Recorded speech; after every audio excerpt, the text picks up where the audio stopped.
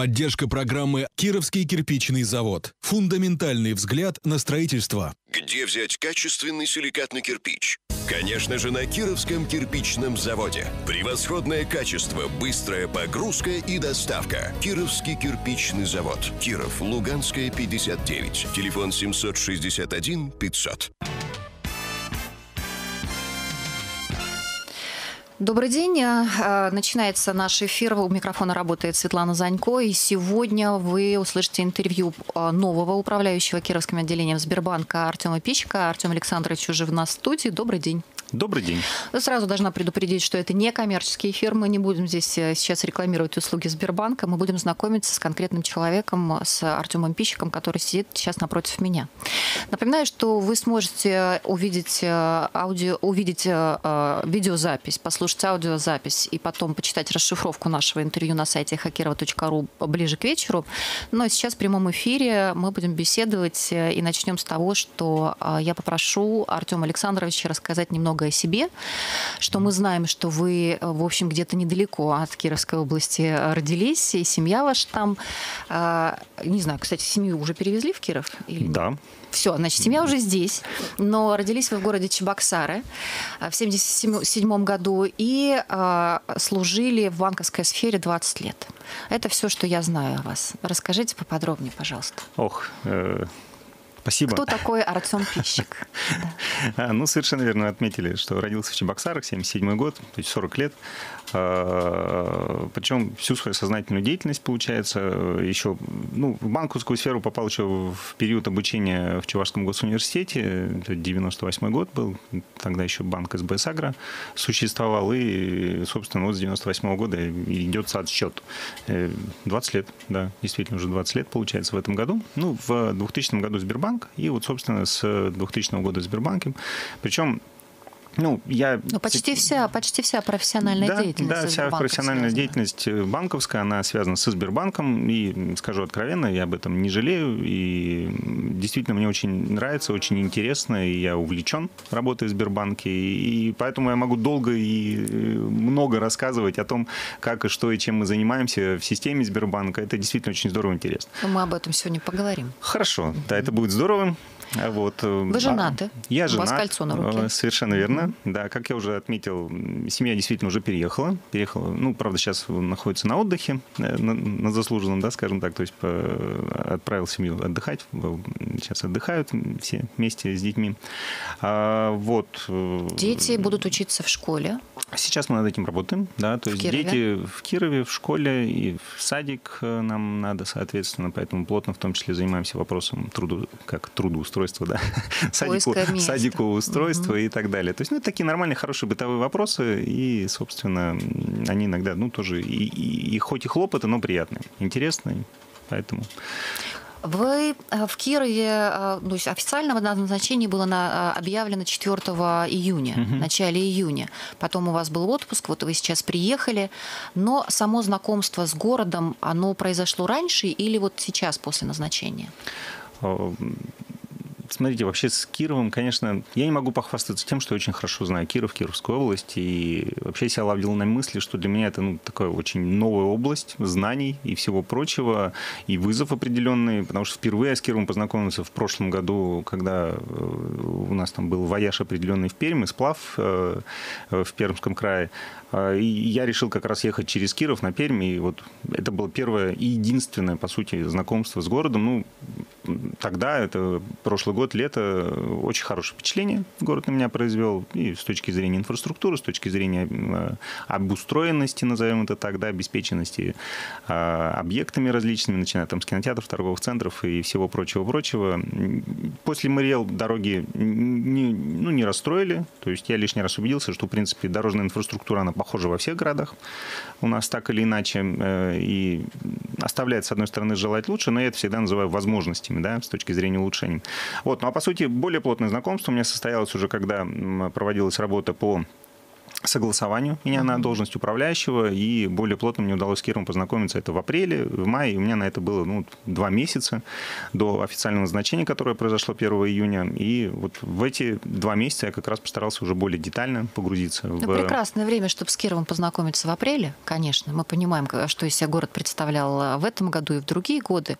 Но сейчас уже лето, и у вас практически в течение этого года было несколько да, таких вот ярких э, экскурсов в Киров общее ощущение от города? Вот Киров, он для вас сейчас какой?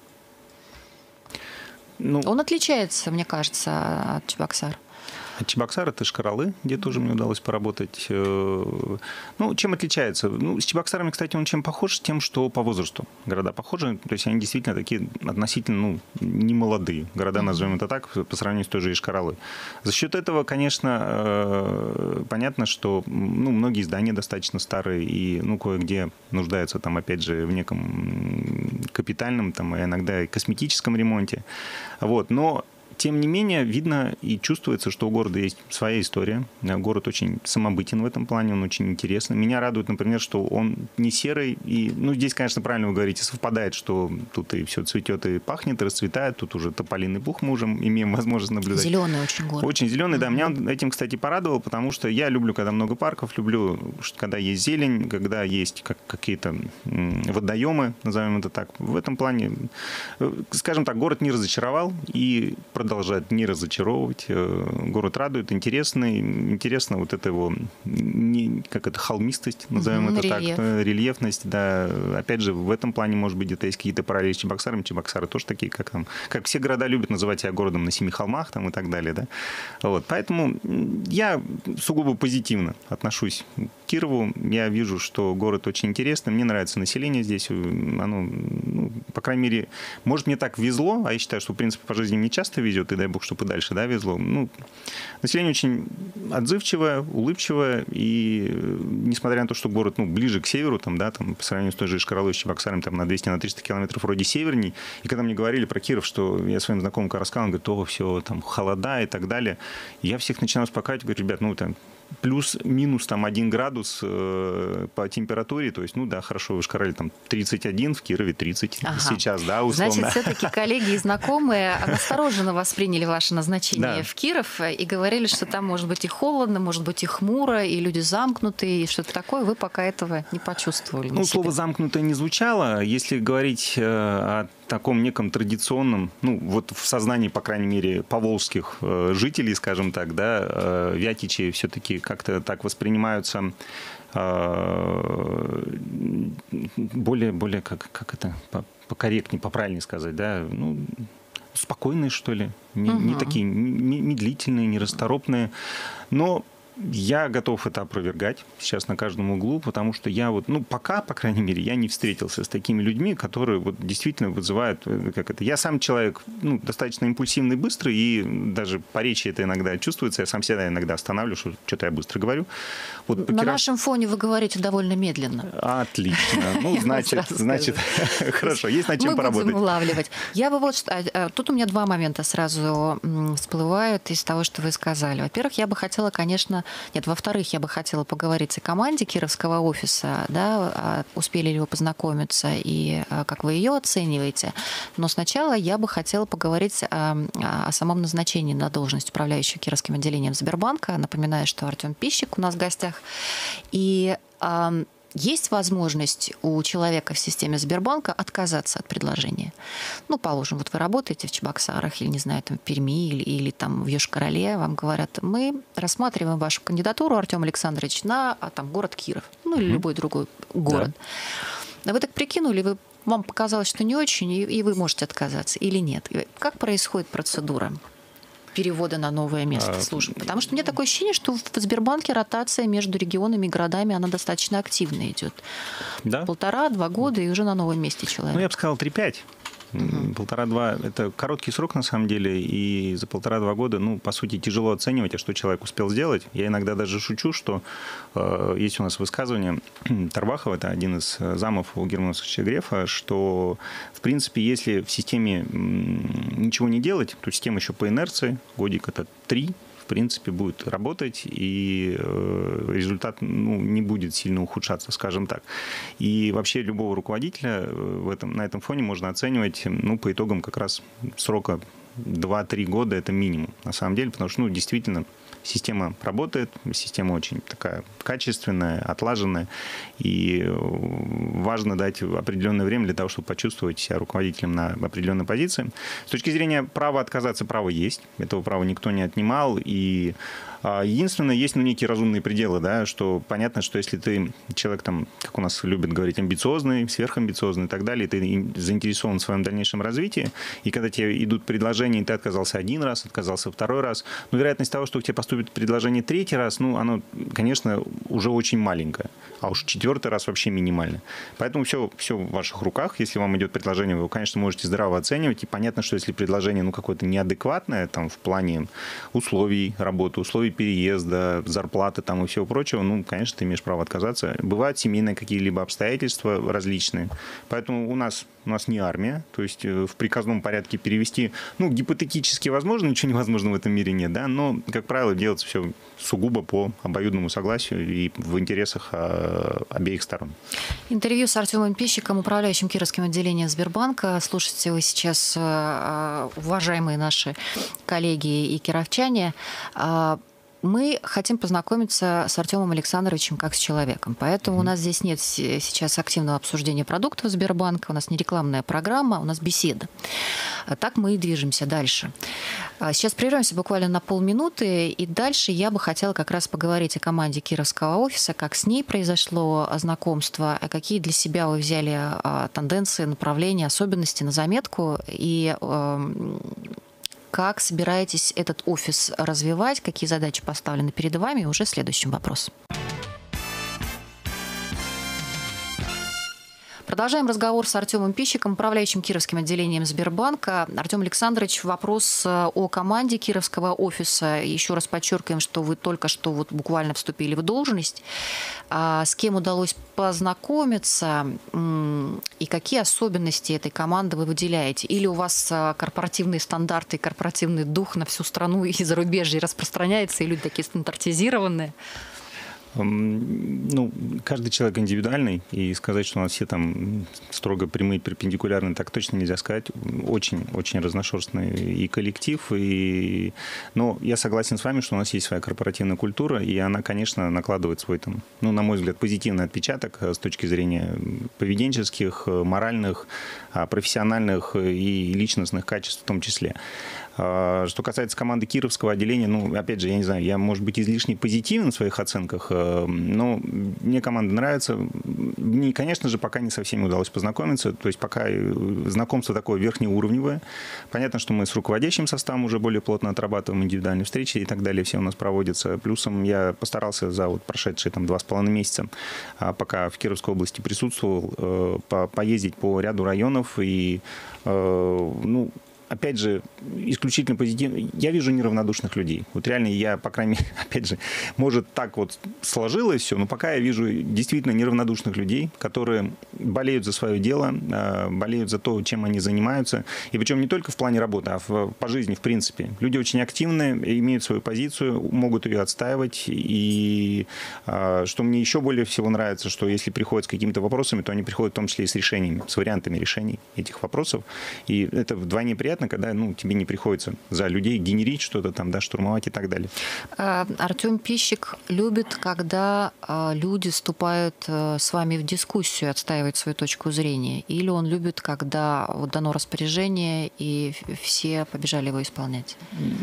Ну, и та, и другая позиция заслуживает уважения, у каждого свой стиль правления. Да. Есть, есть э, такая книга «Приумножители», э, и вот там, знаете, как раз есть такая теория, что э, ты можешь быть строителем империи, можешь быть тираном, там, всезнайкой и так далее, принимать решения за всех людей, но это качественно не улучшает ту команду, с которой ты работаешь, команда твоя не развивается. Поэтому проще всего за кого-то принять решение, командовать и сказать, все, мое решение единственное правильное, действуем и поехали. Это быстрее, но не, не факт, что это лучше. Поэтому, да, я за то, чтобы мы вступали в дискуссии, за то, чтобы мы вместе принимали решения. И это не всегда дается легко, но это, поверьте, эффективнее. С какими-то проектами, которые команда Кировского офиса инициирует внутри региона, уже познакомились? Да. Ну, во-первых, э, в силу того, что я работал в соседних регионах, я с таким, ну как это, радостью, что ли, пришел в Кировское отделение, как раз потому, что мне удалось не, со стороны наблюдать за тем, что происходит в, в отделении, да, а в, в том числе плотно погрузиться. И на этом фоне меня, например, радует тот проект, э, который Кировское отделение начало с Э, госуниверситетом в части виртуальной реальности и виртуализации э, объектов недвижимости, которые впоследствии выставляются на продажу. А, меня радует проект, э, который отделение начало реализовывать совместно с правительством области в части создания центра оказания услуг малому бизнесу, в первую очередь, на принципах единого окна, когда юридическое лицо, предприниматель может прийти в, в одно конкретное место и сделать все необходимые операции, начиная с регистрации э, юридического лица, ну и потом открытием счета, получения бизнес-услуг различных, в том числе государственных услуг. И это действительно работает. Вот, эти проекты меня впечатляют, и я уверен, что за этим в том числе наше будущее. Кировский офис, ну, это на мой взгляд, потому что мы достаточно плотно а, работаем по различным а, проектам городским и общественным. Кировский офис является инициатором вот как раз общественных мероприятий, а, которые проводятся в городе в самом. Я меньше знакома с регионом, могу только город оценить. Регулярно, несколько раз в год, большие массовые общественные мероприятия и а, украшения города к Новому году и к лету. Все время какие-то возникают моменты, на, а, направленные на улучшение жизни горожан. Это называется э, социальной ответственностью бизнеса, когда не только а, прибыль и выгода стоит во главе угла, но когда бизнес уже вызревает и, доходит, и дозревает до того уровня, что готов вкладываться и не только деньгами, но и человеческим ресурсом в развитие того места, где находится этот офис. Что вам известно об этих проектах? И сами вы вот в Чебоксарах, в Ёж-Короле угу. в таких угу. проектах участвовали? Ну, начну, наверное, со второго вопроса. Да, он будет более короткий, наверное, ответ. А, да, а, ну, Опять же, мы вскользь затронули корпоративную культуру Сбербанка, и, на мой взгляд, это последние несколько лет это действительно один из элементов нашей культуры, когда, ну, причем важно, на мой взгляд, еще, чтобы это было искренне. На самом деле, опять же, там не, не из-под палки, да, не ради какой-то там Невозможно бизнесовой... сказать человеку, ну мы пойдем сейчас одной командой и сделаем людям хорошо, а кто не придет, тому сдайте штраф. Не согласен. Это а, возможно. Может, да? Это возможно, но э, возвращаясь опять к э, принятию решений, приказам и так далее, это неэффективно, потому что это должно исходить изнутри, из человека, из, от, от, от всего сердца, да, и причем зачастую может быть... Мы, мы же вообще как бы вот э, россияне, как часто говорят, мы же живем чувствами, и важно, чтобы мы действительно все делали искренне, от всего сердца, и только тогда э, то, что мы делаем, чем мы занимаемся, оно будет и жить дальше, и, и приносить э, пользу. Вот, а с проектами Кировского отделения Кирова, Кировской области, да, опять же, удалось ознакомиться, и даже в некоторых удалось уже по поучаствовать. Ну, в частности, если говорить про спортивные мероприятия, то вот зеленый марафон, который у нас а, прошел в конце мая, там лично. Даже, про, по, даже погода не воспрепятствовала. Погода, да. Я переживал насчет погоды. Ну, да. это героически. Я вот за это благодарен всем участникам данного мероприятия. Я вдвойне рад, что погода дала нам возможность провести там забеги детям, в первую очередь, да, которые не почувствовали этих всех напасти, а ну, взрослые отхватили по полной, и в том числе я там там до, до, до нитки промокли, но, опять же, это определенный вызов, определенный интерес. А, а проектов действительно очень много, и про Новый год вы вспомнили, и я готов заверить, что все те начинания, причем не только начинания, а многие проекты уже получили такое достаточно мощное развитие, и я понимаю, что за счет, ну, хочется так, рекламу не рекламу, но благодаря Сбербанку в том числе в Кировской области а, многие социальные проекты получили свое дальнейшее развитие, распространение, и другие компании, организации с высоким уровнем социальной ответственности mm-hmm. подхватили эти проекты и продолжают их. И мы будем продолжать это делать, будем стараться вовлекать всех остальных во все э, подобное.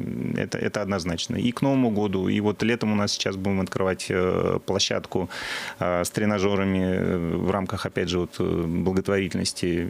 Это, это все будет и дальше обязательно угу, делаться. Угу. И а, Пришло, пришло время, чтобы поговорить с правительством Кировской области, потому mm. что, вероятно, уже состоялась встреча на самом э, высшем уровне, может быть, и нет. Расскажите мне, э, познакомились ли вы уже с губернатором Кировской области, с профильными министрами?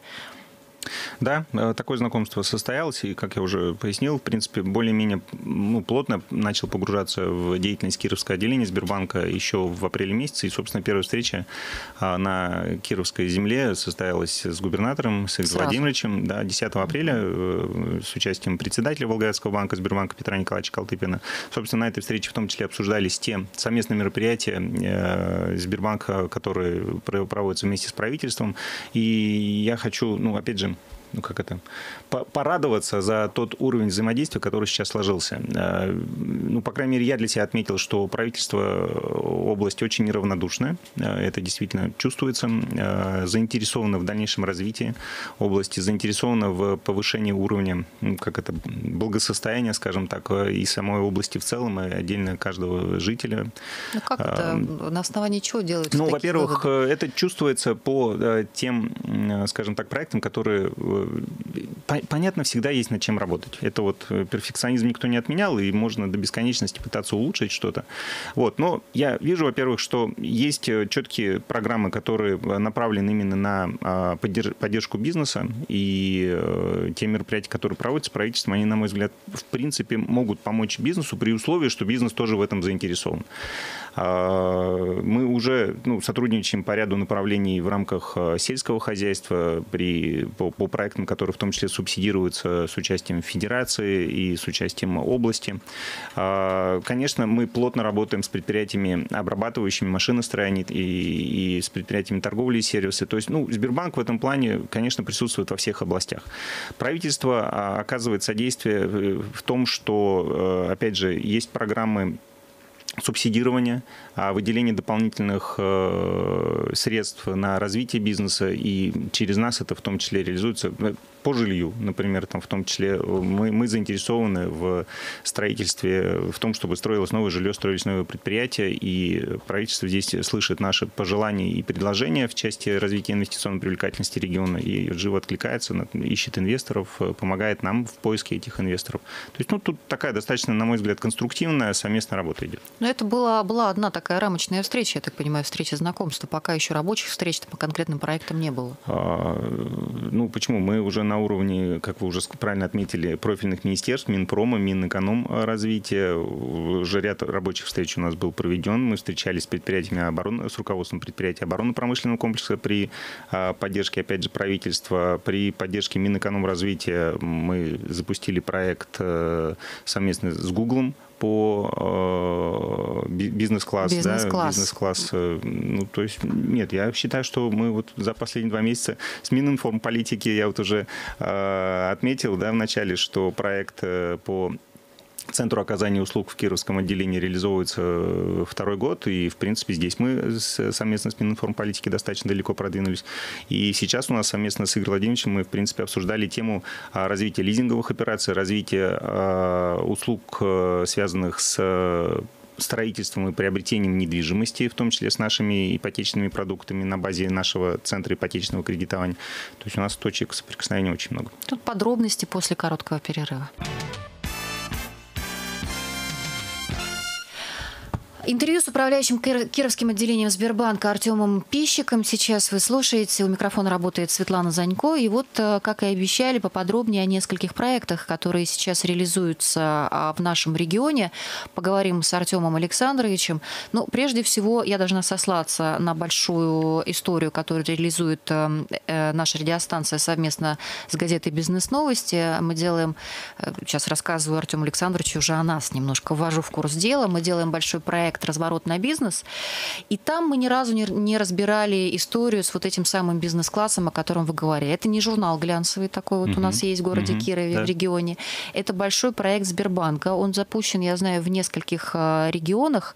И сейчас мы его не с точки зрения там, рекламы этого продукта будем а, разбирать, а с точки зрения того, что он вообще из себя представляет, потому что о нем очень много пишут, о нем очень много говорят, и в том числе правительство Кировской области отчитывается, что все больше и больше участников участников в, этом в этом проекте, кто-то к нему подключается, но я, прочитав э, кучу просто какой-то информации, я не поняла, для чего этот проект. Вот правда, вообще. Мне вообще кажется, что очень многие проекты запускаются для галочки, для того, чтобы в конце года можно было сказать, что вот правительство с крупнейшим банком заключает, развивает и прочее. Поэтому хочу от вас подробностей. Что за проект такой? Кто действительно к нему подключается? Для чего все это делается? В чем угу. польза? Я, конечно, боюсь, что будет много громких слов, да, ну, постараюсь как это их минимизировать. Ну, во-первых, смотрите, бизнес-класс э, проект, он не новый в принципе, а он реализуется уже третий год, он новый для Кировской области. То есть э, компания Google совместно со Сбербанком, ну, как это, задумывались над тем, а чего не хватает предпринимателям, и мы понимаем в последнее время, что не в деньгах счастье, действительно, а зачастую счастье-то оно в компетенциях, в умениях и в информации, которые Интересно это слышать от представителя крупнейшей финансовой структуры. Ну, так оно и есть. Mm-hmm. И я с этим категорически согласен. Э, и как раз цель-то программы «Бизнес-класс» в том, чтобы повысить уровень владения информацией, знаниями и э, уровень развития того или иного бизнеса, которым занимаются предприниматели. Ну, в первую очередь, фокус идет на малые предприятия, на предпринимателей. Потому что, как правило, у них и не хватает вот этих всех компетенций, и зачастую не хватает информации, где это можно взять, и не хватает времени на то, чтобы э, эти компетенции свои все подтянуть.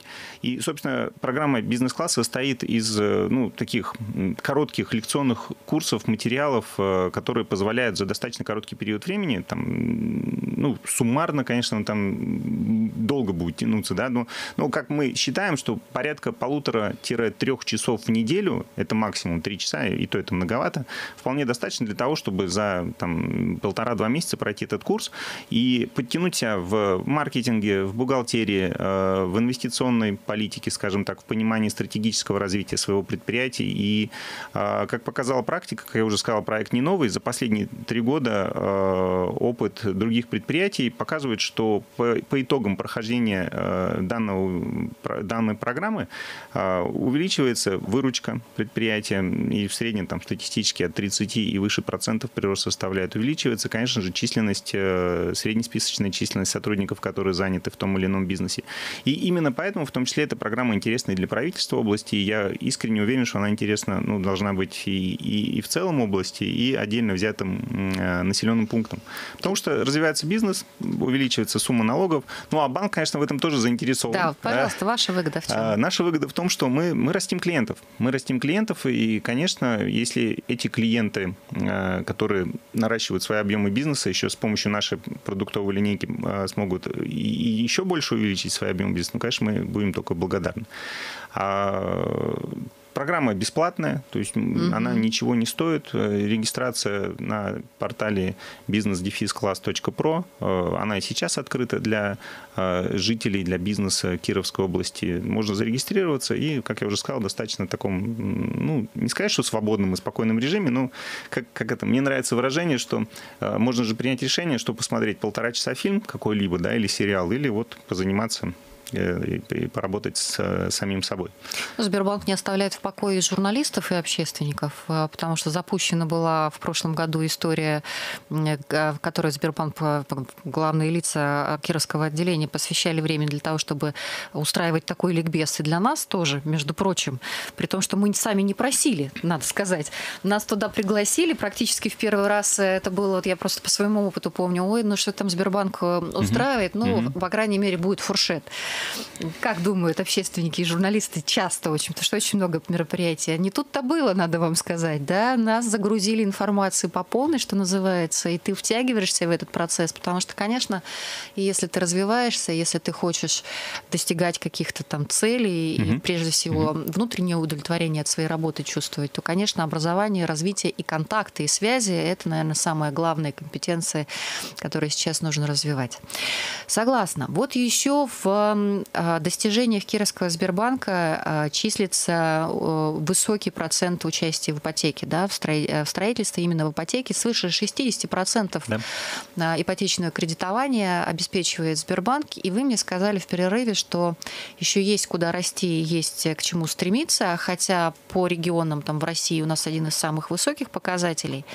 А я высказала а, там скептическое замечание, что куда еще стремиться, когда рынок стагнирует э, строительный, да, и когда масса непроданных квартир. Вот в этой ситуации совершенно непонятно, как действуют на самом деле финансовые структуры. Угу.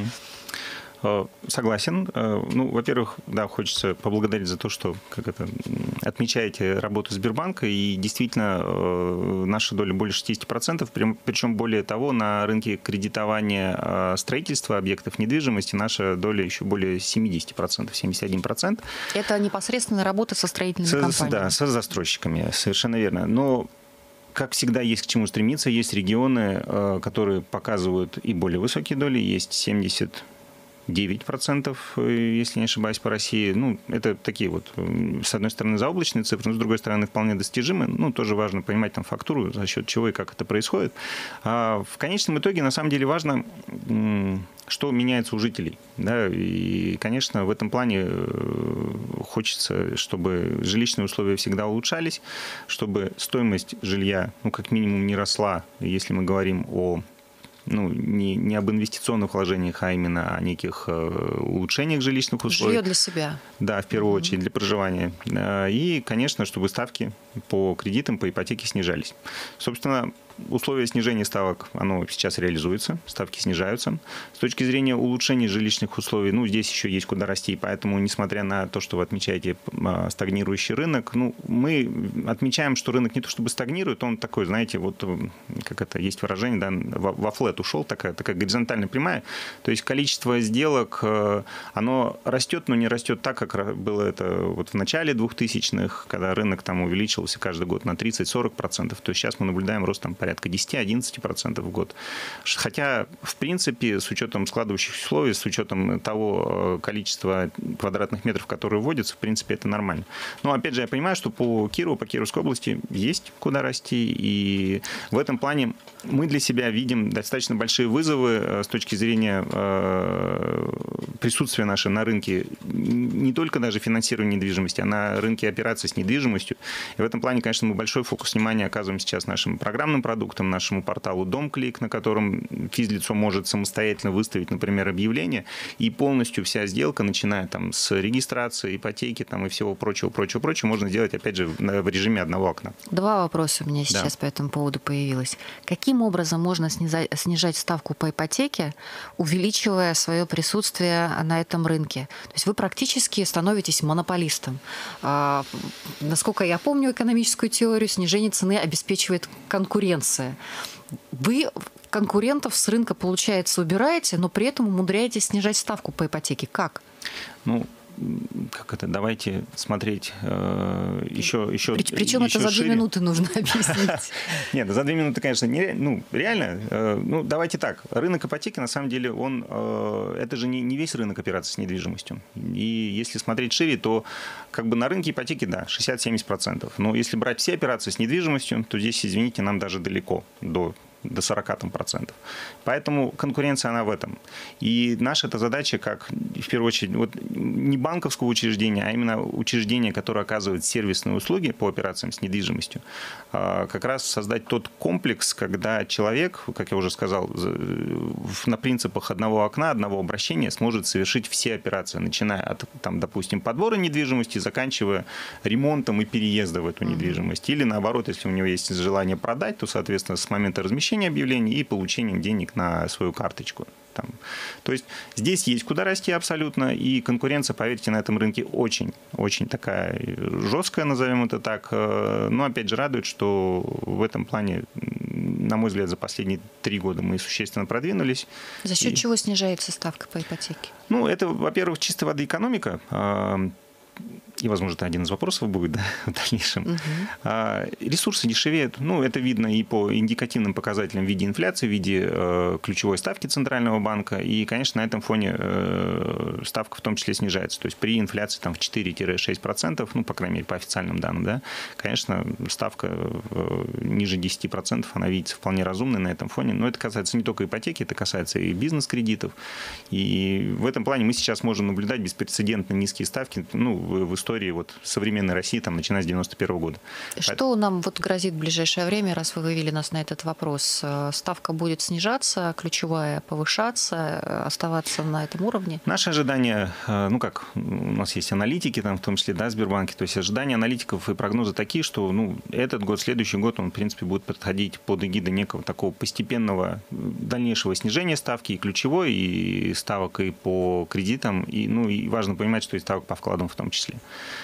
То есть здесь ну, это процесс неизбежный. Если мы хотим дешевые кредиты, то неизбежно мы должны получать дешевые ресурсы, и одно связано с другим. Поэтому... есть какая-то цифра, к которой стремится Центробанк и стремятся банки по ставкам и по кредитам? Ну, давайте говорить о некой ставке инфляции 4%. Mm-hmm. Вот э, в перспективе, там, не очень близко, может быть, ни год, ни полтора, ну, ну вот инфляция следующего года, прогнозы это в районе 4%, соответственно, ключевая ставка тоже будет там на полпункта на полтора пункта в следующем там, году где-то будут снижаться.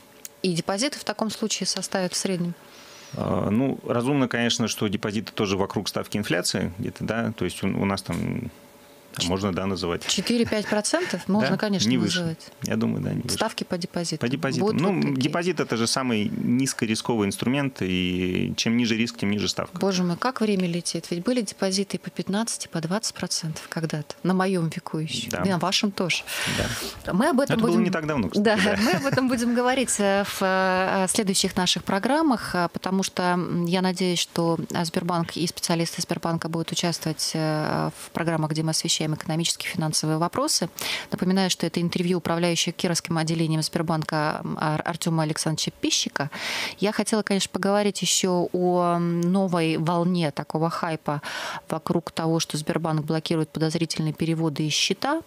Но у нас на это остается буквально две минуты. Успеете прокомментировать? Я готов прокомментировать. То есть я, если понимаю вопрос о том, что достаточно массово сейчас в соцсетях обсуждается тема, что Сбербанк блокирует операции, звонит по э, платежам платежам и уточняет цели назначения этих платежей. И в случае, если эти платежи там связаны с такими ну, какими-то бизнесовыми вещами, скажем так, то операции категорически блокируются, блокируются все счета.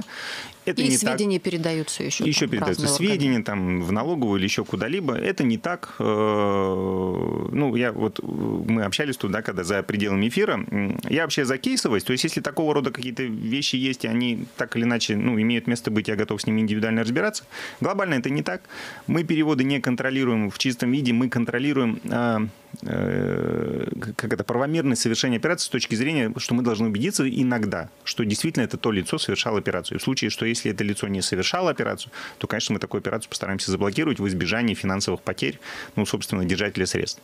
В этом случае, да, конечно, осуществляются звонки, уточнения делаются, а вы ли совершали эту операцию и так далее. И тогда человеку нужно конкретно звонящему ответить. Конечно, да? конечно. Четко, ну, тут это... же не брать время на подготовку, подождите, я подумаю, и посмотрю, да, прямо на месте.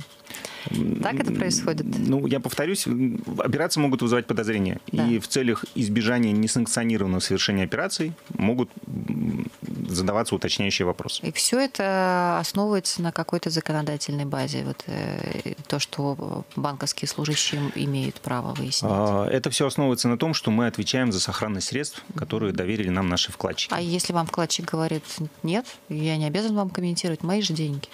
С какой стати вы контролируете? Ну, по крайней мере, он должен подтвердить тогда, что да, он действительно эту операцию совершал, но не обязан подтверждать, например, что почему он ее совершал там и так далее. Но он подтверждает, что это он и так далее. Я чувствую, что здесь есть о чем поговорить Конечно. и подробнее разобраться. Мы это сделаем в отдельной программе, устроим тоже такой вот ликбез. А пока благодарю Артема Пищика, управляющего Кировским отделением Сбербанка. Наше интервью подошло к концу. Благодарю. Хорошего лета, жаркого, только приятных впечатлений о Кирове, а, скорейшего решения всех возможных задач, проблем. И надеюсь, что мы еще встретимся в этом эфире. Обязательно. Спасибо вам большое. До свидания.